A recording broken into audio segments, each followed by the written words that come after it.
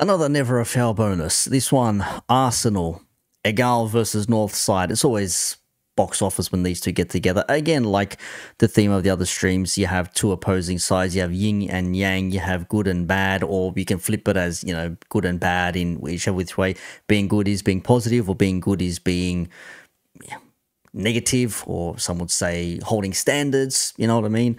And it's just when they come together in a stream, it's it's mad. They just, you know, can't agree on anything and they just end up yelling and, and shouting and everything else in between. But I'm going to look at a short clip here. Again, link posted down below from Never Foul. And it basically goes on to the uh, defense wins you the league aspect. And obviously, we know that obviously Arsenal um, drew against Brighton 1 1, Declan Rice red card, all that sort of shit, right? Now they're potentially, um, well, not potentially, they are without Rice for this North London derby next weekend. And also Merino is out for six to eight weeks. So they're a little bit light in the midfield. So this North London derby should be very, very interesting. But it wasn't that. It was more so the fact of them not scoring goals made evidence for not signing a proper number nine. And now we've come to the point where well, is it the defense that needs to be better or is it the attack that needs to be better? And they say attack wins you games, defense wins you championships. Well, if the defense let you down in two or three games last season, conceding goals, at the same time, your attack let you down by not scoring goals. So it's one of those dichotomies. Is a dichotomy, is that the right term? I don't know. Maybe I'm trying to, I'm thinking of something completely different. But let's have a listen to this because it, it did get a little bit tasty we do have a lot more cover on the bench. Also, you said something about you said something about what is the defense going to do? We need to score more goals. You want to know something? You can win a league with your defense. You don't always need to win a league with your attack. If I'm not mistaken, when Liverpool won the league, they were their defense was highly rated and their attack was highly rated. When City yeah, won the your, league, your forward's not highly rated, bro. Your forward line's not highly rated. You second, don't ever compare that forward line with Liverpool's forward. The disrespect. We won that league with Mane, Firmino, and Salah. We had Origi off the bench. We had Shaqiri doing bits in that forward line as well. What's man talking about, bruv? Come on, man. Second, I'm not comparing it. I'm just showing you that when you win the league, when you win the league, it's not necessarily on the goals. Because there was times where Liverpool's attack was always fire, but the year that they won it was because of their defense. When you won it with uh with Ruben Dias being player of the season, it was because of your defense.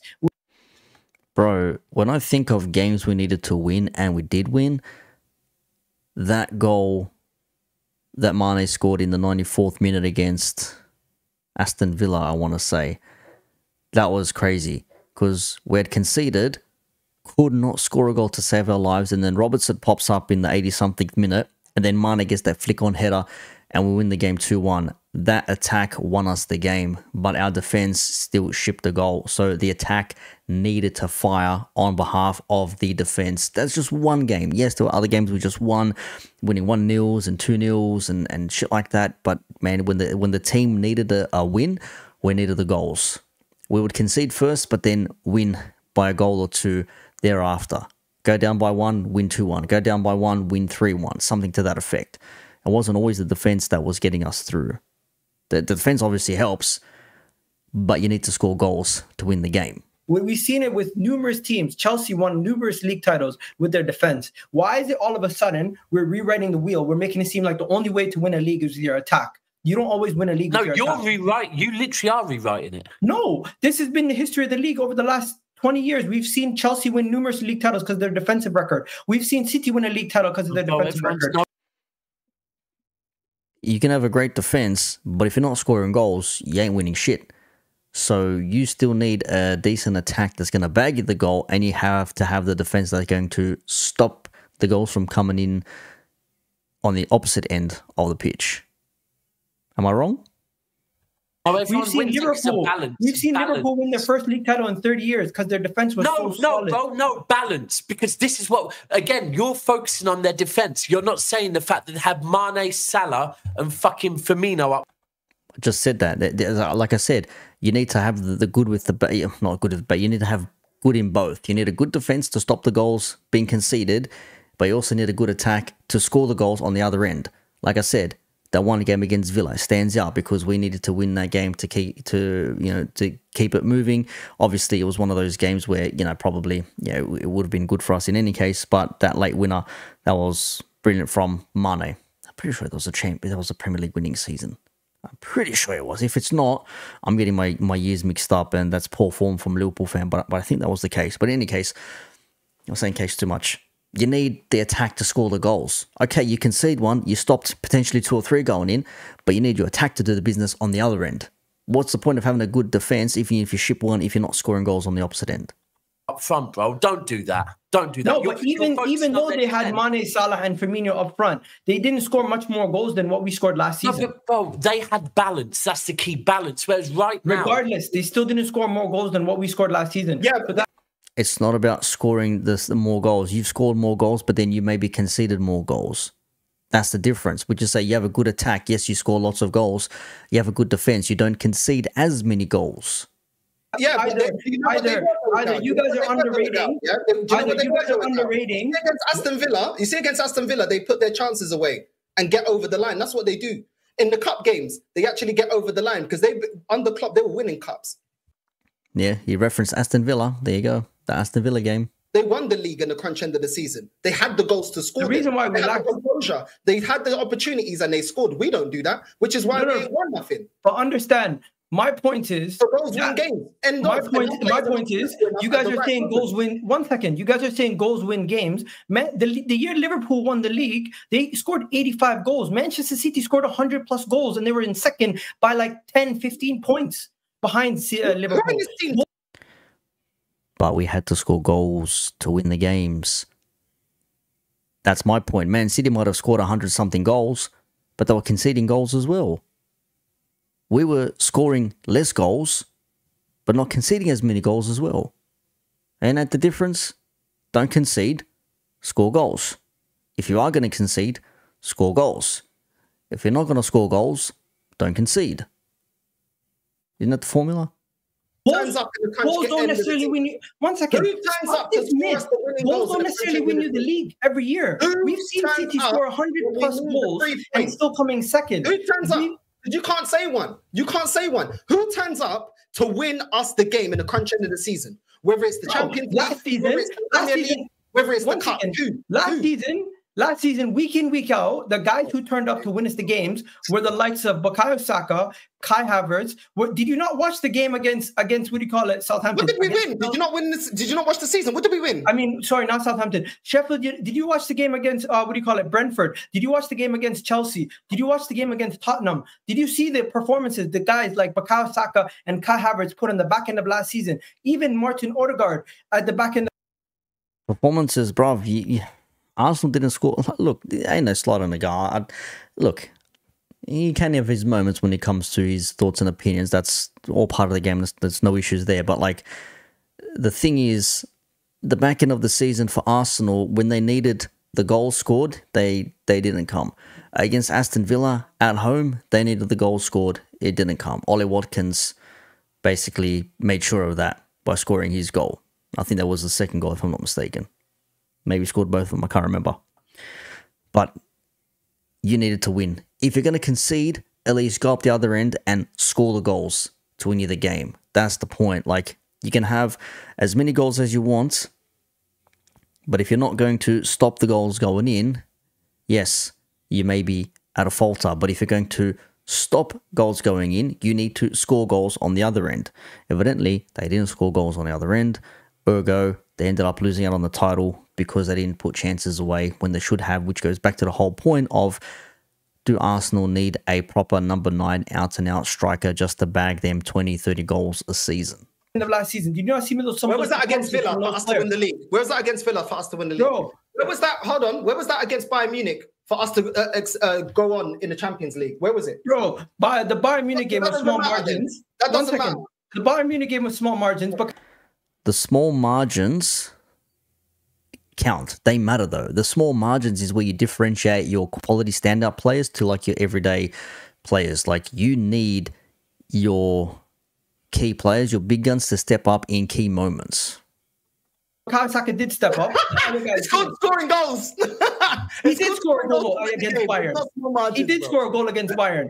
Just one second. I don't think last season we fully had the uh, we we fully had our teams fully sorted. And this season, if you guys want to say we're still not sorted, fair enough. But my thing is, I think this team is still good enough to win the league. I still think this team is good enough defensively to be one of the best teams out there. Offensively, we still have enough quality to put, to bury enough chances and, and to get enough chances with the players we have.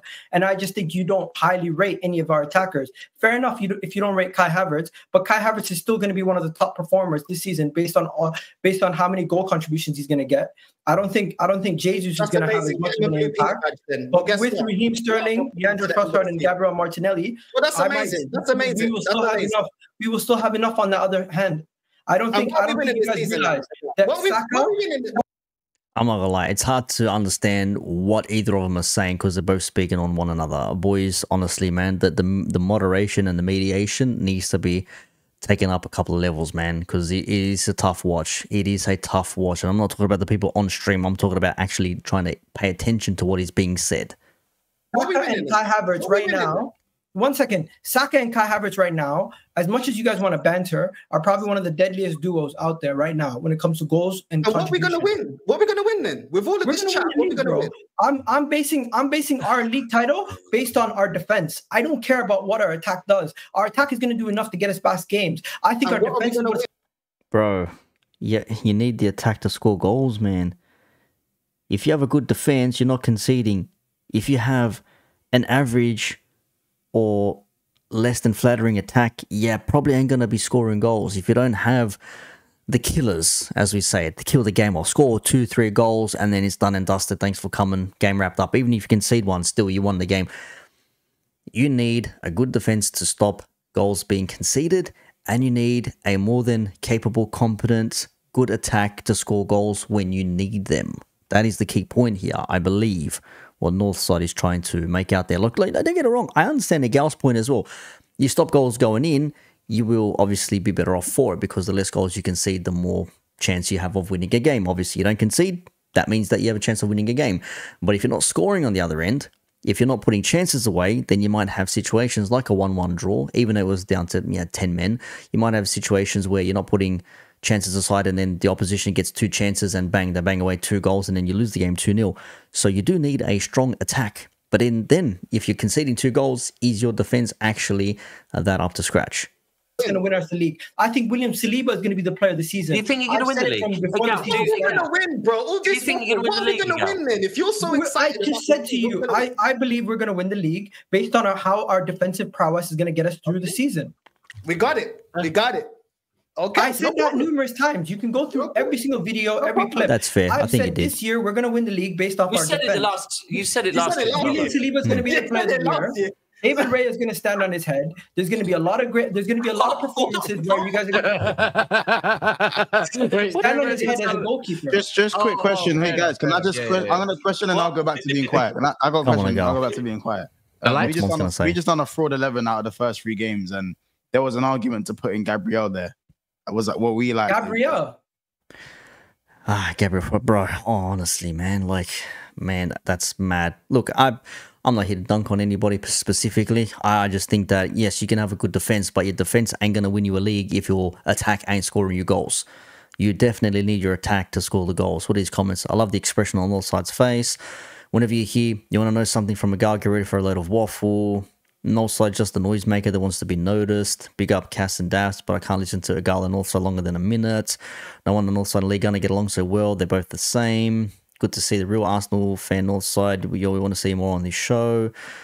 Oh, it's crazy. Monty's right. Arsenal better pray and not drop points in the next two games. Yeah, they got they got Tottenham Hotspur and then they've got Man City. Bro, if they do not win or if they drop points in that game, that could be bad come the end of the season. It's crazy.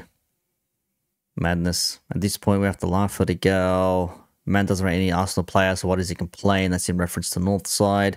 Northside bangs on about standards and mentality, but wants to throw in the towel at game week three. Really he ain't built for the race. Big up, never a foul. Cash trying to calm Daps down. Madness. Same at Arsenal. Going to be a three pit of bottling with the kind of window we had as title challengers. Well, there you have it. Links posted down below. Arsenal defense or Arsenal attack. If you had to pick one, which one would you prefer at the moment? Because your defense is already good. Do you want to improve on your defense or do you think you need to improve on your attack? I would think that Arsenal need to improve on the attack. They're not conceding as many goals. They still conceded somewhat 30 odd goals last season. But still, you need to be bagging goals as well. If you're not bagging goals, you're not winning the games, unfortunately. But that, that's my two cents. You guys let me know your thoughts down below. I'll see you on the next video.